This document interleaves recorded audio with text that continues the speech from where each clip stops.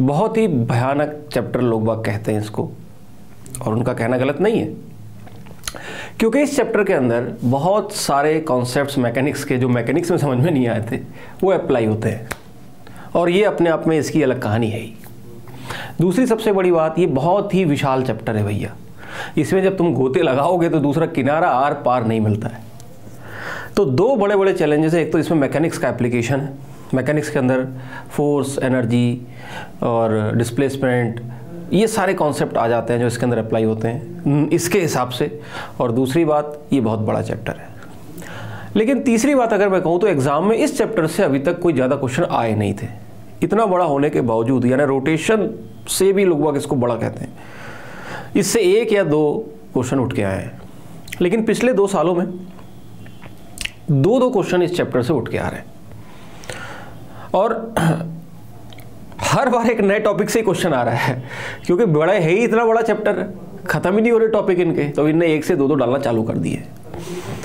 तो हम क्या करें? जो बच्चे इस बार एग्ज़ाम देंगे, वो क्या करें? छोड़ के आ जाएँगे इसको? देखो बच्चों, कोई भी चैप्टर पूरी तरह से छोड़ के नहीं आया जाता है। हर आदमी को अपनी अपनी कैपेबिलिटी के हिसाब से काम करना होता है।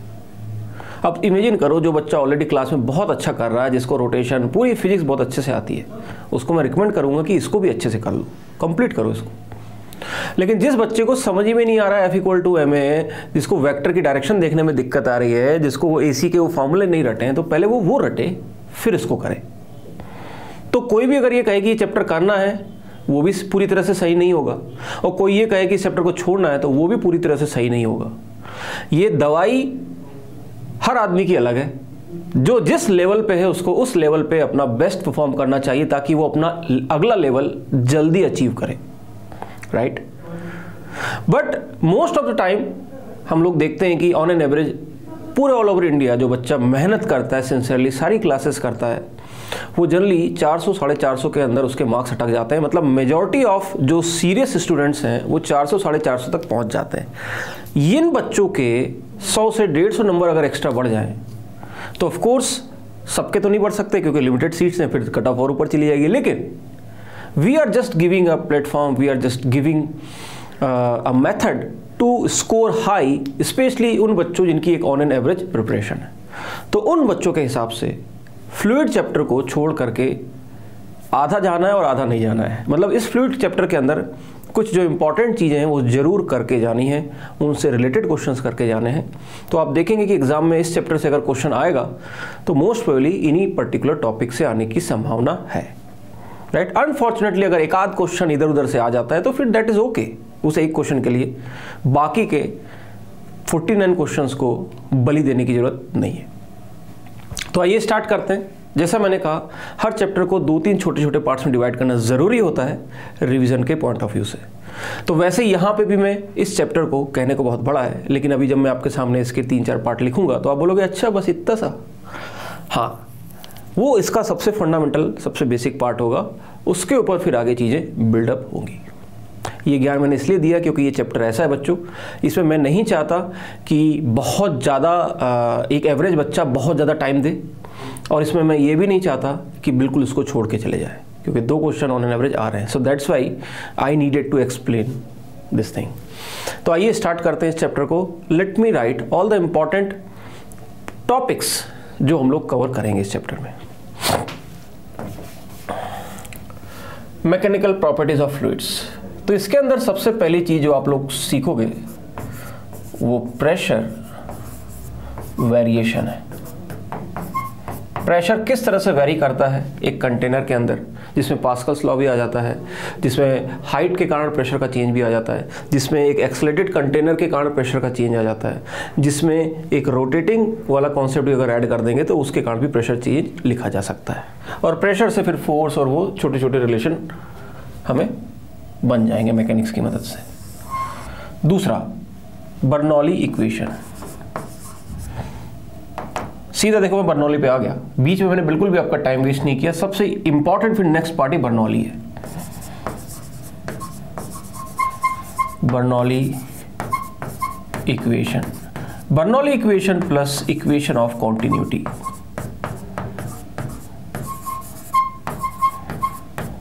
continuity तो बर्नौली इक्वेशन सेकंड पार्ट है। इस बर्नौली इक्वेशन के अंदर ही आप दो चीज़ें पढ़ते हो। कि सेम लेवल पे भी प्रेशर का वेरिएशन हो सकता है अगर लिक्विड फ्लो कर रहा है। लिक्विड का फ्लो स्ट्रीम लाइन फ्लो सब कुछ इसके अंदर ही आ जाएगा जब हम इसको डिस्कस करेंगे इसके रिज़ल्ट को डिस्कस करेंगे। और इसकी मदद से जो दो स्पेशल एप्लीकेशन है जिनसे आप, आपके एग्ज़ाम में आने की संभावना सबसे ज़्यादा है वो करेंगे उनके रिज़ल्ट और उनका रिलेशन एक तो होगा वेंचुरी मीटर और दूसरा आपका होगा इफ्लक्स इफ्लक्स में आप देखेंगे। ज़्यादातर आप देखते हैं कि कई सारे टेस्ट सीरीज़ वगैरह में इस फ्लक्स ही इफ्लक्स पूछा जाता है, इसकी रेंज बताओ मैक्सिमम रेंज बताओ, बीच में छेद कर दिया तो कितना दूर गिरेगा। ये एक ही पार्ट पूछते हैं बार बार लेकिन मैं चाहता हूँ आप सिर्फ़ एक पार्ट का वो रटने के बजाय इसके पीछे का जो कॉन्सेप्ट है बर्नौली और कंटिन्यूटी इनसे फिर ये दोनों रिलेशंस को एक बार देख लो और उसके बाद उनके रिज़ल्ट को एक पेज में लिख लो। पेज में लिख लो, कहता हूँ मैं, रटने के लिए अपने आप जो पेज में लिखते हो क्वेश्चन करते हो, देखते हो तो दिमाग में अपने आप चीज़ें सेटल होती हैं। तो पहले वाले पार्ट में आपने देखा किस तरह से प्रेशर वेरी करता है, दूसरे पार्ट में आपने देखा कि किस तरह से एक फ्लोइंग लिक्विड के अंदर प्रेशर वेरी करता है, जिसको बर्नौली इक्वेशन और इक्वेशन ऑफ़ कंटिन्यूटी की मदद से लिखा जाता है। Third part excess pressure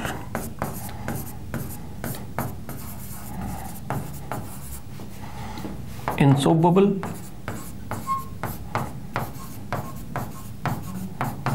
and surface energy.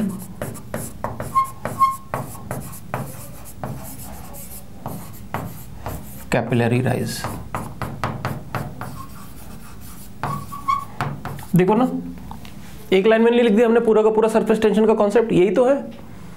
अगर मैं क्वेश्चन के पॉइंट ऑफ़ व्यू से कहूँ तो एक्सेस प्रेशर पे क्वेश्चन आते हैं। सोप बबल के एक्सेस प्रेशर पे सरफेस एनर्जी के लिए एक ड्रॉप वाटर ड्रॉपलेट है, वो एंड पार्ट्स में एंड आइडेंटिकल वाटर ड्रॉपलेट्स में डिवाइड हो गया तो बताओ कितना सरफेस एनर्जी में चेंज आया, कितना टेम्परेचर में चेंज आया।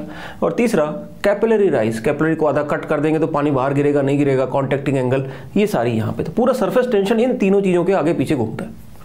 उसके जो क्वेश्चन है third part and fourth is Stokes law and terminal speed.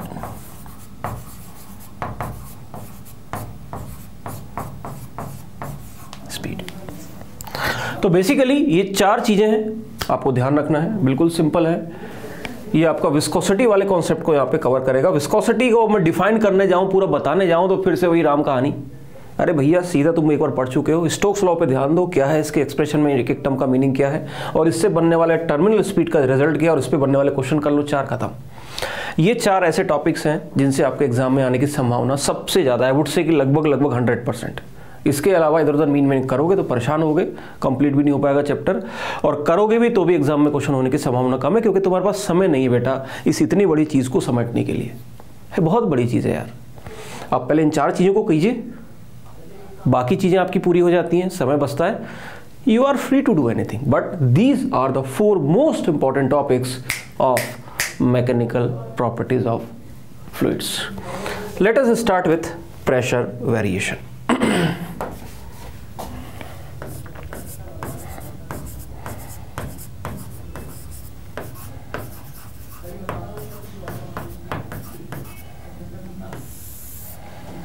Pressure variation तो दो तीन चीज़ें आपको पता है सबसे पहले Pascal's law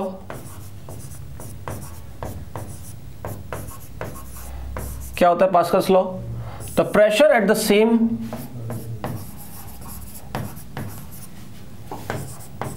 at same height in same liquid of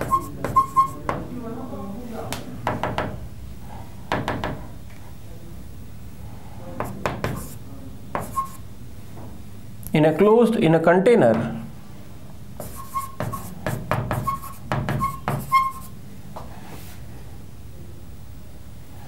Remains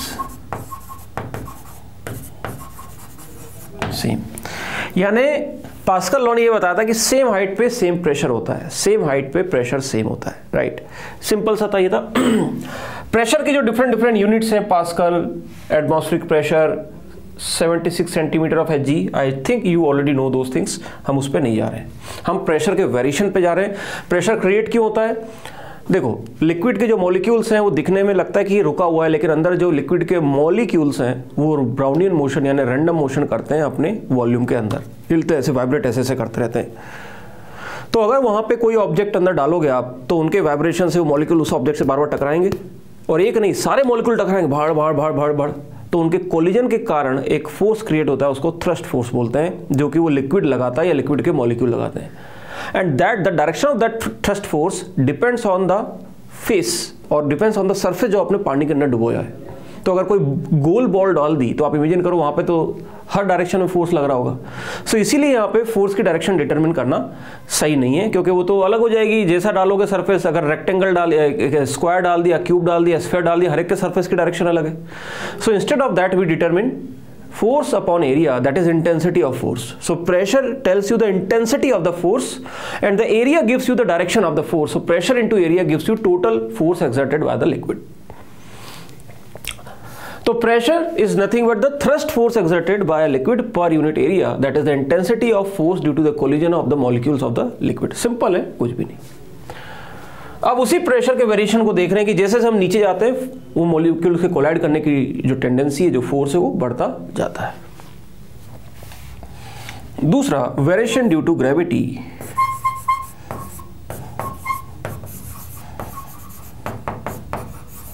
यानी अगर आप किसी लिक्विड के अंदर, जैसे आप जानते ही हैं, ये ओपन टू एटमॉस्फेयर है। एटमॉस्फेरिक प्रेशर को मैं पी नॉट लिख रहा हूँ।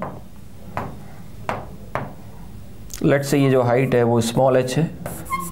डेंसिटी रो है and this is atmospheric pressure तो आपको पता है कि जैसे जैसे हम लोग लिक्विड के नीचे जाते हैं प्रेशर बढ़ता जाता है। तो बॉटम पॉइंट में पहुँचने के बाद यहाँ पे P at B will be equal to P not plus rho G H आपको ये ऑलरेडी पता है फॉर्मूला कि जब हम नीचे जाते हैं तो प्रेशर बढ़ेगा, ऊपर जाएँगे तो प्रेशर घटेगा। स्केलर क्वांटिटी है, बिल्कुल भी टेंशन लेने की ज़रूरत नहीं है। आप कभी कभी इसको ऐसे भी देख सकते हो delta will be plus minus rho G H plus minus इसलिए लगाया कि अगर मैं ऊपर आऊँगा तो प्रेशर घटाना है, नीचे जाऊँगा तो प्रेशर कम करना है। अच्छा हवा के अंदर प्रेशर हर जगह सेम माना जाता है। हवा के अंदर डेंसिटी हवा की ज़ीरो होती है तो रो ज़ीरो हो जाता है एयर के अंदर तो हाइट का डिफरेंस होने के बावजूद भी प्रेशर हर जगह सेम रहता है। यानी यहाँ पे प्रेशर हवा में, यहाँ पे हवा में किसी भी दो पॉइंट पे प्रेशर सेम माना जाता है। यूनिफॉर्म माना जाता है क्योंकि हवा की डेंसिटी लगभग नेग्लिजिबल है। बहुत ज़ीरो होती है तो वेरिएशन होता है बट नेग्लिजिबल होता है। दूसरा, ये तीसरा point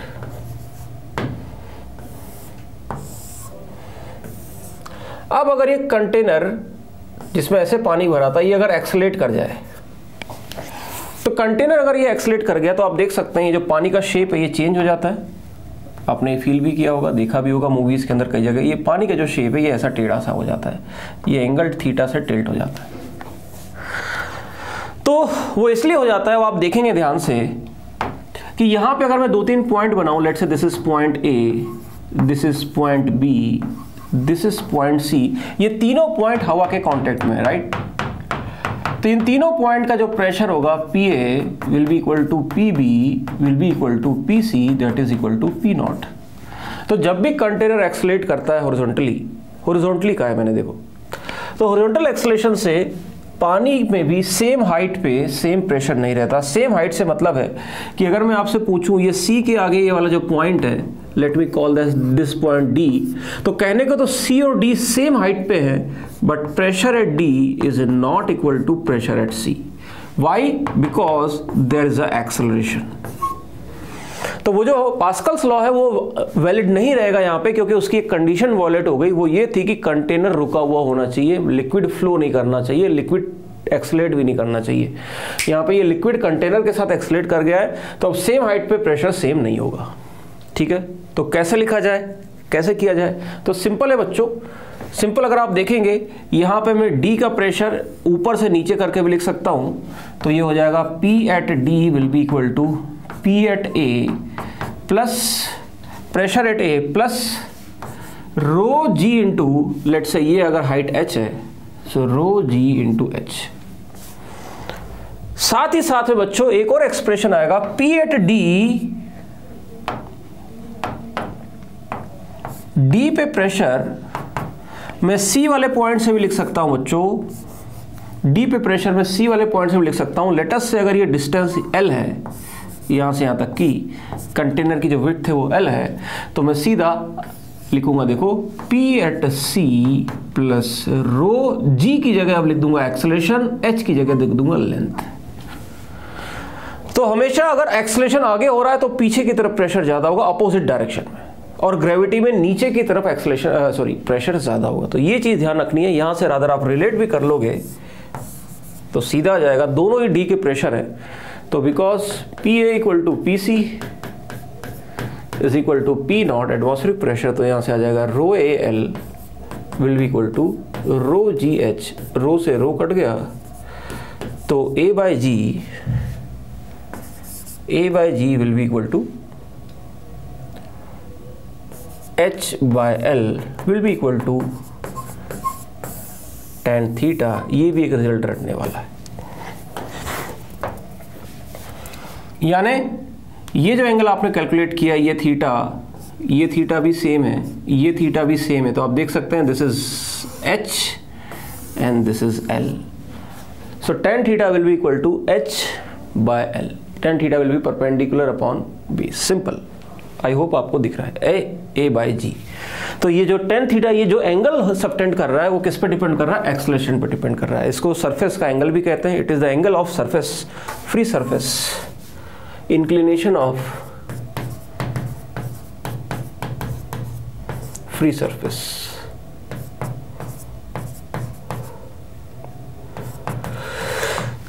sorry I hope it's clear तो सिंपल है ना rho G H rho pressure का वेरिएशन तो अभी तक मैंने आपको दो चीज़ें बताई. प्रेशर का वेरिएशन ड्यू टू हाइट होता है plus minus rho G H plus minus इसलिए लगा रहा हूँ कि हाइट ऊपर जा रहे हैं तो घटेगी, नीचे आएँगे तो प्रेशर बढ़ेगा।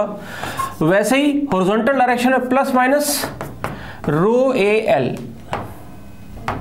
तो यहाँ पे लिखोगे pressure increases in going down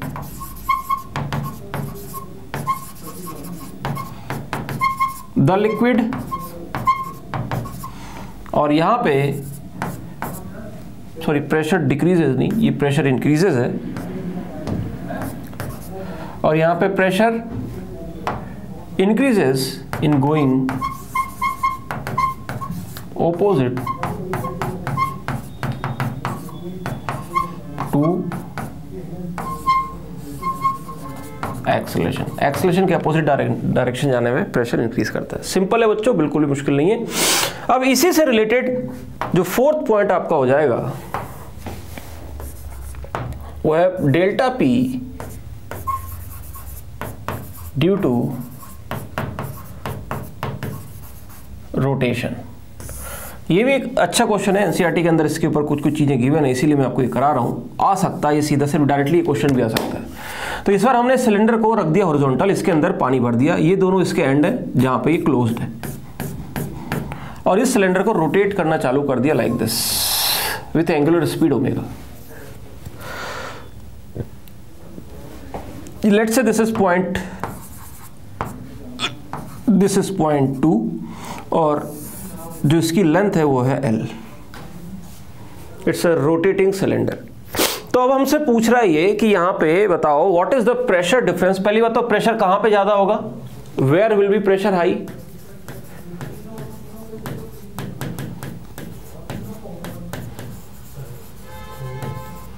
is high or second find pressure difference across the ends.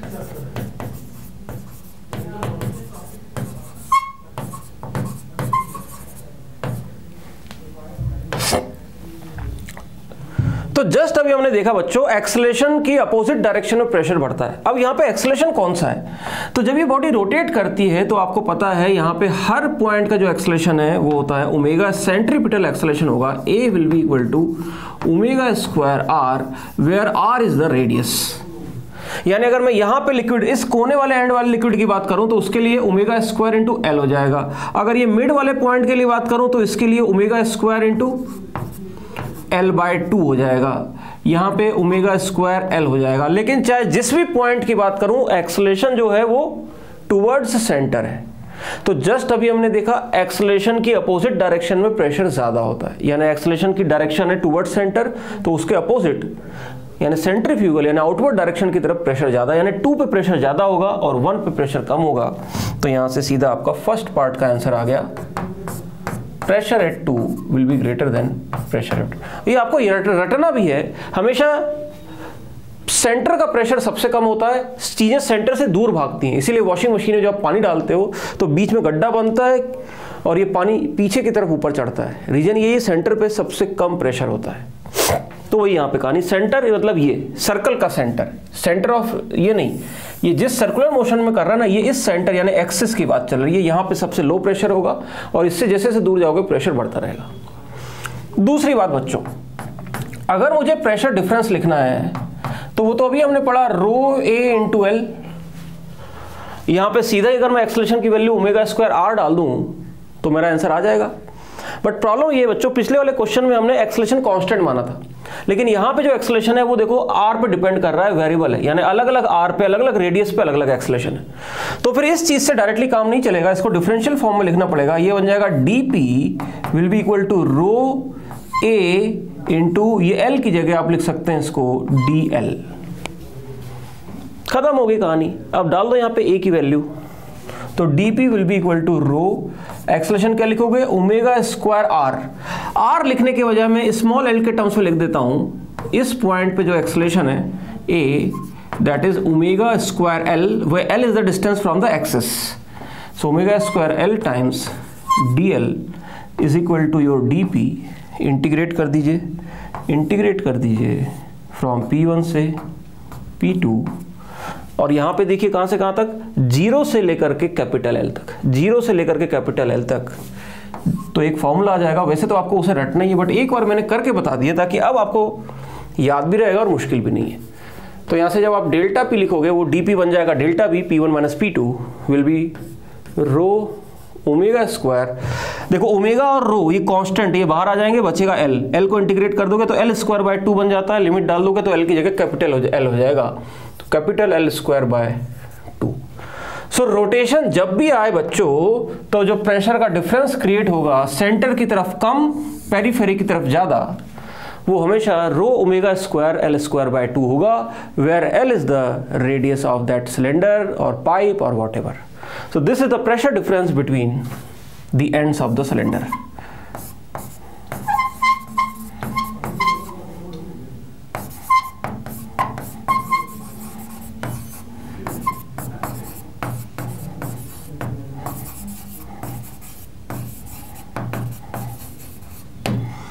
I hope it make sense बच्चों। तो प्रेशर डिफरेंस के मैंने आपको तीन चार फॉर्मूले कराए अब आपको बिल्कुल भी दिक्कत नहीं होनी चाहिए। एक बार मैं इनको फिर से लिख देता हूँ। सबसे पहले डेल्टा पी इक्वल टू आपने क्या लिखा? That is rho G into H plus या माइनस आप देख लोगे। फिर आपने क्या लिखा delta P that is plus या minus rho A into L acceleration के अपोजिट में बढ़ता है प्रेशर ध्यान रखना है। और तीसरा आपने रोटेशन का क्या लिखा? Delta P will be equal to rho omega square L square by two simple तो ये है variation of pressure due to height due to gravity due to acceleration and due to rotation आइए इसके ऊपर दो तीन क्वेश्चन करके इस टॉपिक को खत्म करते हैं।